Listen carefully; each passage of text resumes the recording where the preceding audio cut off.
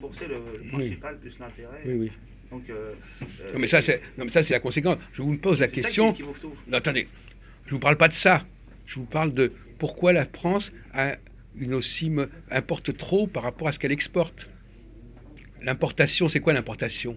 Qu'est-ce que ça veut dire quand on importe, Monsieur Jean-Paul? Ben, ça veut dire qu'on ne fabrique pas sur place. Ça veut dire qu'on veut des produits Ouais. qu'on ne fabrique pas soi- soi-même. Ouais, ouais. Donc il y a un On problème. n'a pas si c'est des matières premières qu'on n'a pas aussi. Non, mais ça veut dire quoi Pas le choix. Pourquoi est-ce qu'on va, pourquoi est-ce qu'on veut des choses qu'on n'a pas Ah, bah, Pour les, y consommer. D'ailleurs, à propos, euh, vous savez que le pouvoir d'achat qu'on est en train d'injecter, il va, déclen- il va aggraver la- les importations. Ouais, ouais. faut pas se faire d'illusions à ce sujet. Hein, donc, euh, ça- le gros problème économique, pour moi, c'est quand même bon, le, euh, le financement euh, par, le, par, le, par, le, par, le, par le crédit, par l'intérêt. Non, le grand problème économique, c'est l'énorme quantité de, de budget qui est utilisé au niveau pour l'État, au niveau social, etc. Ah, oui, aussi, mais bon, ensuite, c'est cet argent, euh, c'est vrai que si on, si on écoutait un peu les, les bonnets blancs mais euh, l'endettement, mais, mais je suis d'accord, l'endettement. du Canada, là, Ben, ont une technique euh, où il n'y a, euh, a pas de prêt à intérêt, mais que faire un équilibre entre ce qu'on consomme et, les, et, les- et la- et ce que la nature nous donne, c'est-à-dire ce que le potentiel national et on dépasse pas certaines limites et il n'y a plus d'endettement. Bon ben là, euh, là il y a un équilibre. Tandis que là maintenant il y a des équilibres à cause de ça, l'endettement. On va prendre le problème plus philosophiquement, si vous permettez. L'endettement lui-même, c'est quoi l'endettement? L'endettement, c'est quand je fais appel à des choses que je, n'ai- que je ne peux pas produire moi-même ou que je ne trouve pas autour de moi. Oui, non, enfin, bien sûr, il faut que j'achète à l'étranger dans ce cas-là, mais, mais non, mais euh, Non, non, non. Je peux me mesurer, je peux acheter que proportionnellement à ce que. à- Non, mais est-ce que est-ce qu'il ne faut pas bon, c'est le problème de, de modèle social ou modèle économique. Est-ce qu'on doit est-ce qu'on doit pas euh, est-ce que l'endettement n'est pas le résultat d'une du fait de vivre au-dessus de ses moyens, d'emprunter un mode de vie qui n'est pas celui qui nous correspond, qui ne correspond pas à nos, be- à nos capacités, etc. Dès que quelqu'un veut faire quelque chose, veut se faire passer pour ce qu'il n'est pas, il y a un problème. De toute façon, il y a un coût. Ah, c'est vrai que la- les pays, les grands pays européens et l'Amérique du Nord, euh, ils vivent euh, le développement qu'a eu, euh, ce développement du capitalisme, avec cette- ce- ces prêts à intérêt, le prêt à intérêt, le financement par les par l'intérêt, euh, même, même les États, qui battent plus monnaie nationale, tout ça. Puis 73, la loi 73, et puis compagnie, tout ça, ça fait que, que on devient euh, complètement, voilà, on peut plus, on peut plus, euh, on est sclérosé à un moment. euh, de toute façon, le capitalisme, c'est que des cycles avec des crises. au départ, des petits cycles, une guerre, un plus grand cycle, et là, apparemment, ben, après, un- après une grande crise qui va venir, une, une guerre. C'est toujours comme ça, et, et- et ça ne peut pas être autrement. Le capitalisme a toujours fonctionné comme ça. Donc, euh, parce qu'au bout d'un moment, il y a des boulots d'écrangement. Mais moi, je veux faut pas- consommer parce qu'on produit, on produit, on- ce qu'on produit, il faut le consommer, mais on n'arrive pas à le, à le consommer. Non, mais vos, votre- réflexions sont intéressantes, mais elles ne mettent pas le doigt sur le vrai problème humain, à savoir l'incapacité à, à exploiter les ressources qu'on a sous la main, humainement, etc. Bon, on ne va pas rentrer dans les grandes discussions sur le capitalisme, etc. On est en train tout simplement, on a parlé des blocages tout à l'heure, c'est pas par hasard. Donc, par exemple, on ne veut pas faire appel à, à X ou Y parce que euh, on est jaloux de lui, euh, parce qu'on ne veut pas reconnaître que sa, réussite, ou alors on ne veut pas reconnaître qu'on a des problèmes et on ne veut pas les avouer. Il y a des tas de choses qui font qu'on va bloquer. On peut aussi être déçu par la réponse d'autrui, surtout des gens proches. Aussi. Voilà, donc euh, Ça, ça il est certain que dès qu'on a, dès qu'on n'a pas euh, flexibilisé la relation qu'on a avec les gens autour de soi, euh, ça marche pas. Par exemple, tout à l'heure on a parlé d'économie.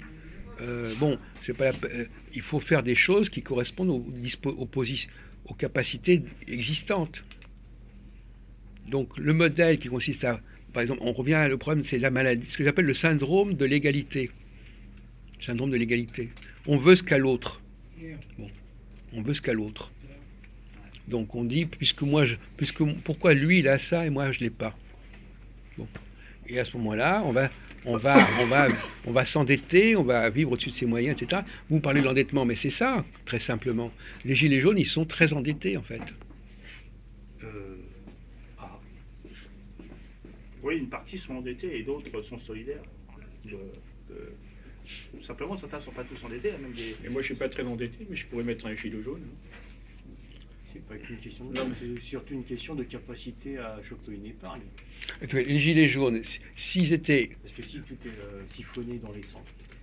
Si, si, si, la société française fonctionnait normalement, les gens résoudraient leurs problèmes localement. Localement.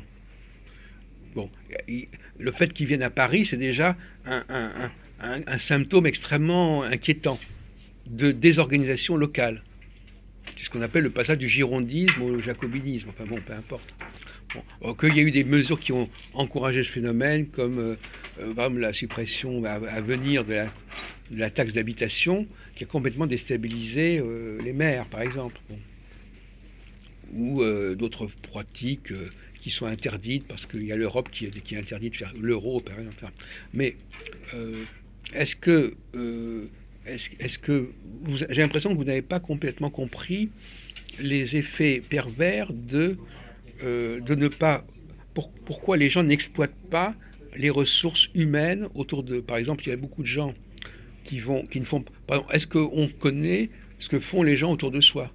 Est-ce qu'on sait tout ce qui se passe dans un quartier? Est-ce que les gens savent qui fait quoi et, et voilà. Et d'autre part. Euh, il y a beaucoup. Alors, il y a un problème qui m'intéresse aussi, c'est la, gratuité. Alors, qu'est-ce que vous pensez de la gratuité? Est-ce qu'il y a beaucoup de choses qui sont gratuites aujourd'hui? Ça, le paradoxe est là aussi. C'est qu'il y, a énormément de choses qui sont gratuites ou qui sont très bon marché. Aujourd'hui, aller au cinéma, c'est beaucoup moins cher qu'avant. Ah bon? Euh, Vous avez pour 18 euros euh, cinéma illimité pendant un mois. C'est pas cher, ça. Je suis désolé. Pour une place de cinéma. Non, mais vous n'êtes pas au courant, vous débarquez. Comment euh, sur 12 mois pour ça, hein, vu les merdes qui passent actuellement euh, en termes de films. Non, non, écoutez, euh, bon. Alors, attendez, vous d'abord, ne vous énervez pas. Les, cartes, les cartes UGC permettent d'aller dans les cinémas d'arrêt d'essai, de toute façon, je vous, je, vous, rassure. Et de toute façon, c'est extra. Il y a des choses au niveau Internet, au niveau des films, qui sont infiniment moins coûteuses qu'avant. Infiniment moins coûteuses qu'avant. Il, y a des tas de choses, il y a des tas de choses qui sont. Comment au niveau du ciné, je proteste. Au niveau de, de tout ce qui peut passer éventuellement sur les, films. Un passionné de cinéma, il y a, la cinémathèque, c'est 9 euros par mois. Hein, écoutez, je suis désolé. Euh, bon. les prix ont été. Oui, Cinémathèque de Bercy. Par mois. Cinémathèque de Bercy Oui, 9 euros par mois. Donc de bol, tout le monde n'a pas accès à ce. Comment ça? Surtout à l'information. Ah ben écoutez, voilà. Ben, renseignez-vous. Bon, j'ai pas dit que c'est même le problème est même plus grave que ça, c'est-à-dire que les gens, ils ont des trucs, ils vont en abuser, ils vont devenir addicts. Hein. c'est plutôt le problème que actuellement le problème c'est pas de c'est pas que le cinéma est cher, c'est qu'il est tellement bon marché qu'il y a des gens qui passent leur vie là-dedans. Si on rapporte ça, mettons euh, des sites de streaming, oui. Clairement. Non, bon, écoutez, euh, on va pas. Bon, vous êtes bloqué là-dessus. Je vous dis que moi, je vous dis, il y a des tas de choses qui sont presque gratuite aujourd'hui et qui n'était qui, pas autrefois. Bon, donc c'est assez paradoxal. Et même, même au niveau de la, au niveau de des activités, beaucoup de gens peuvent créer des blogs, des tas de trucs comme ça. Ils peuvent se faire plaisir. Euh, bon, donc euh, on comprend pas très bien pourquoi il y a des problèmes à ce niveau-là, parce qu'il y a tellement de choses qui peuvent se faire facilement. On peut même créer sa chaîne de télévision du jour au lendemain avec, avec presque rien, etc.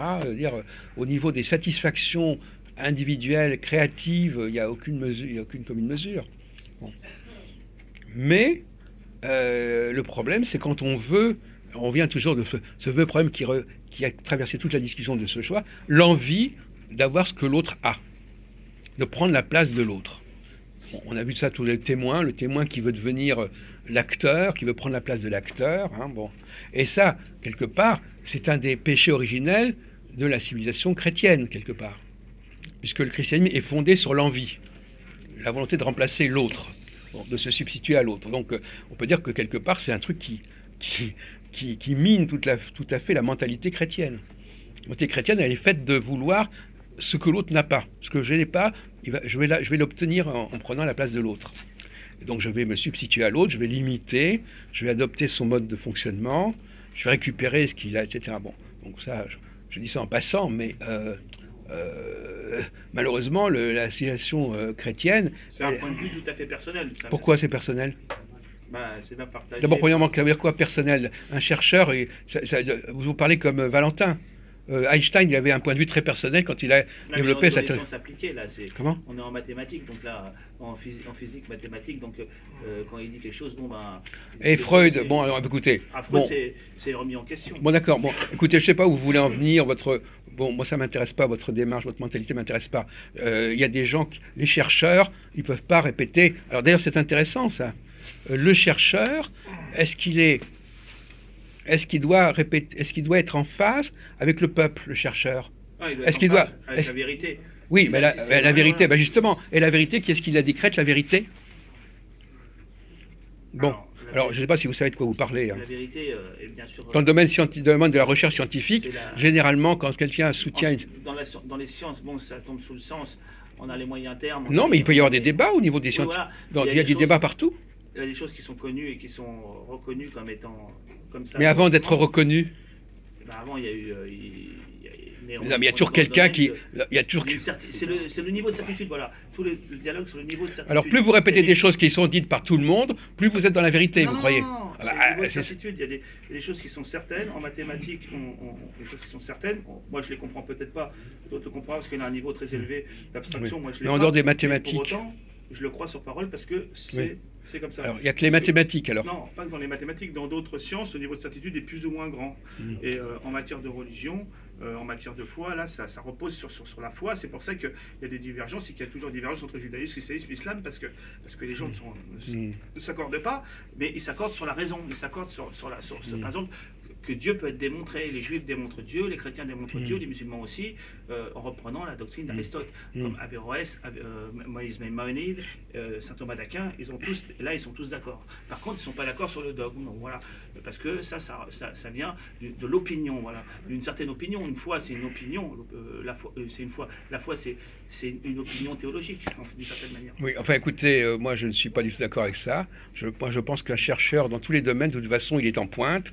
Et en pointe, effectivement, à un moment donné, et justement, c'est ça le justement ça le défaut de, Macron, justement, entre autres, c'est de ne pas avoir le caractère suffisant pour assumer une position sans être soutenu par, euh, par la masse, par exemple. Et ça, vous êtes en train de faire l'apologie du type qui est incapable de, de se tenir droit quand les autres ne sont pas d'accord avec lui. Bon, alors donc vous n'avez pas le, vous pas le caractère d'un chercheur, je suis désolé de vous le dire, parce qu'un chercheur, il ne raisonne pas comme vous.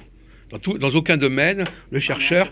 il cherche à avoir une certitude euh, logique. dès Bon, écoutez, ne, dites- ne dites pas ce que, ce que doit être le chercheur, moins dans les excusez-moi. sciences après Comment dans les sciences euh, qu'on Non, non, non, euh, mais dans tous les sociales, domaines. Non. vrai que les- vous, vous êtes plutôt, vous venez des sciences sociales. Non, non, non, mais, de- euh, d'état de, de sociologie. Dans les sciences sociales, c'est vrai que la certitude est la plus basse.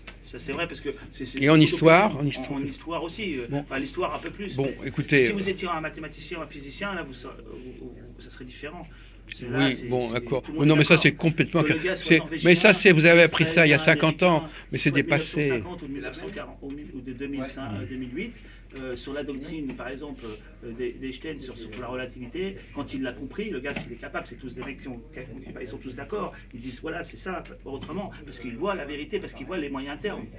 Alors, euh, c'est tout. Vous avez un discours complètement caricatural, mais complètement caricatural sur tout ce qui est les sciences sociales, sciences juridiques, sciences historiques, etc. C'est absolument irrecevable, votre William propos. voulait intervenir peut-être, non euh, Non, mais c'est, c'est, d'ailleurs, c'est ce qu'on disait il y a. Enfin, je veux dire que c'est inaudible. Votre discours, il est inaudible. Hein Euh, la c'est, vraiment le c'est ce qu'on appelle un discours scientiste de bas étage. euh, voilà, les sciences Ah, posi- positivistes. Le scientisme, justement, il prend la science et il en fait une sorte de, de religiosité. Il, il- il met Ben, de la religiosité dans la science. eh ben, c'est ce que vous êtes en train de faire. Ça. Bon, Là, monsieur, monsieur Marc, alors, euh, essayez de sauver l'honneur, parce que là, on entend des énormités. Parce que s'il faut venir ici pour entendre des, des trucs pareils. Euh, alors, il faut répéter comme le troupeau le dit, voilà, euh, tant qu'on n'a pas répété les mêmes choses que tout le monde. euh, on entend Va- Valentin, il est comme ça, vous savez, dès qu'on dit euh, on a une thèse, ah, vous avez une thèse, on n'a pas le droit d'avoir de thèse, hein, il, faut, il faut dire ce que tout le monde a déjà dit avant. bon, alors vous- ah, je vous écoute. Par- chercheur. Euh, comment avance la. euh, la- Est-ce que la recherche. Parce que ça, ça revient au même, au même au niveau politique, c'est pareil. Est-ce que les hommes politiques, ils sont là pour répéter ce que dit le peuple? Ou est-ce que éventuellement ils vont à la, ils sont à l'avant-garde et ils vont prendre même le contre-pied du peuple, ils vont réformer le peuple? Ils sont censés, euh, oui, ils sont censés être à l'avant-garde, ne pas prendre. Bon. Ouais. Eh ben c'est dans tous les domaines comme ça. Bon, donc euh, le discours démagogique du genre, euh, le type il n'a pas le droit de dire le contre. bah, D'ailleurs lui, par exemple, euh, Jean-Paul, il dit ah ben Macron il faut qu'il il faut qu'il cède absolument.